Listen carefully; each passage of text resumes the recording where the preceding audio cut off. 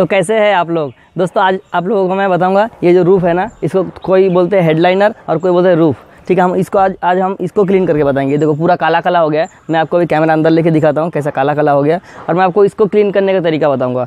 इसके लिए आपको कोई स्प्रे भी नहीं चाहिए। जो सिंपल आपको थोड़ा सा शैम्पू चाहिए और मैं आपको ट्रिक बताता हूँ एक्चुअली कैसा करना है। आप ये अपने घर में भी कर सकते हैं। अगर आपके पास वॉशिंग सेंटर है तो भी आप ऐसा कर सकते हैं, दूसरे गाड़ी वॉश करने के लिए भी, ऐसा क्लीन करने भी आप ये वाला ट्रिक आजमा सकते हैं। और सेकंड थिंग ये है कि आप ये रूफ़ क्लीन करने के लिए इधर गोवा में तो थ्री हंड्रेड रुपीज़ चार्ज लेते हैं, सिर्फ़ वो ऊपर का वो क्लीन करने के लिए। तो पता नहीं आपके उधर कितना चार्ज लेता है, आपके हिसाब से आप लगा सकते हैं, आपको एरिया में जो भी चार्ज लगता है वो। तो मैं आपको भी बताता हूँ, वो कैसा करने का रहता है।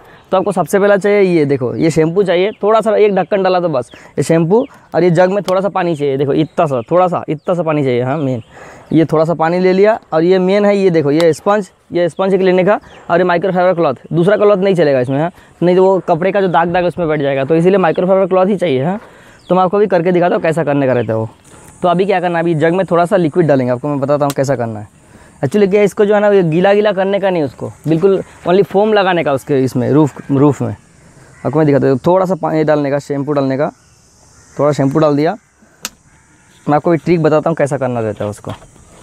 खाली डायरेक्टली शैम्पू लगा तो नहीं हो जाएगा। अभी ये स्पंज लिया, इसको अभी अंदर डाल के, उसको बस ऐसा ऐसा दबाना है। ये देखो ऐसा ऐसा दबाना है। जब आप ऐसा ऐसा दबाओगे ना, ये देखो फोम निकल रहा है ना। कंटिन्यूसली आपको जग के अंदर ऐसे ही करना है। इसको बस ऐसे दबाते रहना है। तो वो जो थोड़ा सा जो पानी है ना ऑटोमेटिकली फोम बन जाएगा। और पूरा वो जग भर जाएगा फोम से। तो हमको क्या करना, पानी इसमें से नहीं लगाना है उसको। बस खाली फोम लगाना है उसमें, उस पर, ऊपर।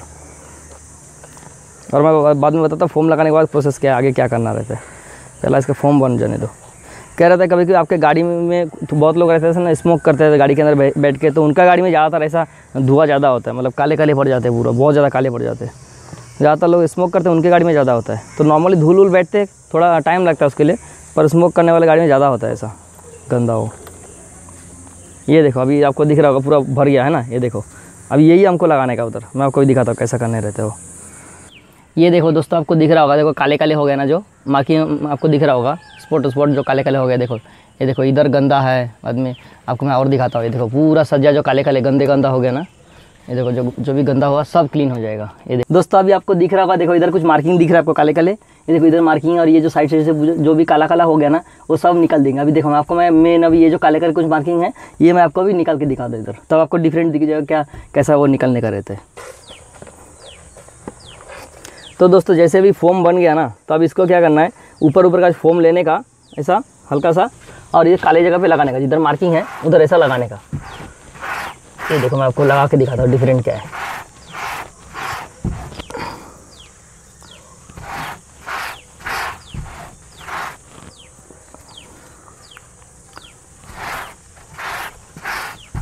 खाली फोम लगाने का, पानी बिल्कुल गीला तो करने का नहीं, है। फोम क्या रहता है, उसमें आधा से ज़्यादा हवा रहता है तो ऐसे में वो गीला नहीं होता है, वो रूफ अगर आप ज़्यादा गीला कर दोगे तो फिर प्रॉब्लम हो जाएगा। और स्पंज से ये फोम लगाने को अच्छा होता है। तो जैसे भी मैंने थोड़ा सा लगा दिया, ऐसा हम फुल क्लीन करने का तो पूरा ऐसा लगाने का, थोड़ा थोड़ा करके लगाने का और क्लीन करने का, ऐसे फुल कंप्लीट हो जाएगा। तो मैं आपको इतना भी करके दिखाता हूँ कैसा करने का रहता है। बाद में फुल कंप्लीट करने का भी आपको दिखाऊँगा कैसा सीन है वो, पूरा, अंदर कैसा। अभी इतना हो गया, अभी इसको मैं साइड रखता हूँ। फिर बाद ये आपको ये कपड़ा लेना है क्लीन वाला कपड़ा। बाद में उसको आपको क्या करना है, कपड़ा ना एक्चुअली माइक्रोफाइबर क्लॉथ है वो।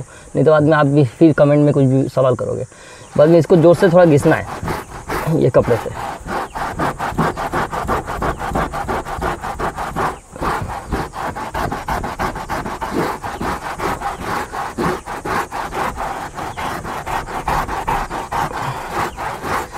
ये देखो, उधर का मार्किंग देखो गायब हो गया है। मैं आपको अभी नज़दीक लेके दिखाता हूँ। ये देखो, आपको दिख रहा होगा, देखो, इधर मैंने क्लीन किया और इधर नहीं किया। देखो, इधर का इधर का पार्ट देखो और इधर का पार्ट आपको डिफरेंट दिख रहा होगा। अभी जो इधर है, ये भी हम थोड़ा सा क्लीन करके आपको दिखा देता हूँ। आपको फुल ऐसा रूफ को ऐसा ही करना है। इसको रूफ भी बोलते हैं और हेडलाइनर भी बोलते हैं। तो आपको जो ठीक लगे मतलब आप समझ जाओ मतलब क्या सीन है ये। यस ये देखो, हमने इतना कर लिया, ऐसा लगा दिया फोम ज़्यादा घिसने की ज़रूरत नहीं है है ना? आप एक दो बार करोगे तो आपको समझ में आएगा कैसा करना रहता है। ये इतना रूफ क्लीन करने के लिए आप थ्री हंड्रेड रुपीज़ चार्ज ले सकते हो। मतलब पता नहीं आपके एरिया में कितना लेते हैं, गोवा में तो ये थ्री हंड्रेड रुपीज़ लेते हैं थ्री हंड्रेड फोर हंड्रेड ऐसा। ये देखो, ये वाइट वाइट हो गया, अभी फोम लगा दिया। यस ये देखो क्लीन हो गया। कुछ नहीं, बस आपको शैम्पू से ऐसा ना फोम बनाना है पहले, जग के अंदर स्पंज से दबा दबा के, है ना? उसके बाद जो है, आपको ऐसा करना है। ये देखो, बिल्कुल नया जैसा क्लीन हो गया। बिल्कुल नया के टाइम आपका कार कैसा रहा होगा ना सेम ऐसा दिखेगा। कोई डिफरेंट मालूम ही नहीं पड़ेगा आपको। ये देखो, अभी पूरा ये और इतना पार्ट देखो, बिल्कुल क्लीन हो गया। अभी इधर देखो, काला है। तो दोस्तों, मैं अभी पूरा फुल क्लीन करता हूँ तो मैं ज़्यादा आपका टाइम नहीं लूँगा। तो आपको समझ में आ गया कैसा करने का रहता है। तो बाकी आप पूरा फुल कर लो। मैं तो अभी करके ख़त्म नहीं, बहुत बेकार हो रहा है। हाँ। तो दोस्तों, आपको तो समझ में आ गया ना, अभी कैसा करना रहता है। अभी आपको मैंने दिखाया कैसा करने का रहता है। मैं अभी फुल ऐसा कर लेता हूँ। तो आपको मैं और क्या बताऊँ? तो मैं आपका ज़्यादा टाइम लेना चाहता हूँ। अगर आपको वीडियो अच्छे लगे तो प्लीज़ मेरे चैनल को सब्सक्राइब करो। Thank you so much bye bye हो गया।